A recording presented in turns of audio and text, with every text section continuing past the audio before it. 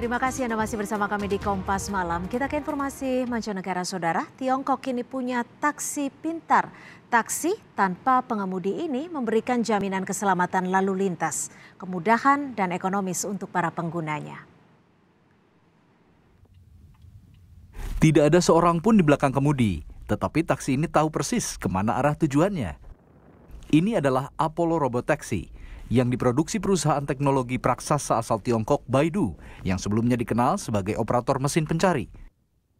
Apollo Robotaxi mengangkut pelanggan di sekitar kota Beijing tanpa pengemudi. Baidu menerima lisensi pertama di Tiongkok pada bulan April lalu untuk mengoperasikan taksi tanpa pengemudi. Baidu mengklaim kendaraan otonomnya ini dapat membuat mengemudi lebih murah, mudah, dan aman.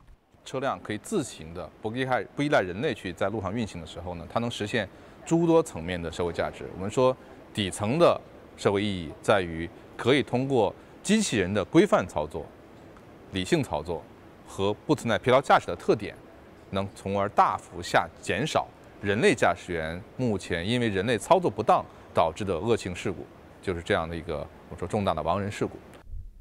Salah satu pengguna layanan Apollo Robotaxi mengatakan, moda transportasi robot ini terasa lebih aman dibandingkan dengan pengemudi taksi manusia.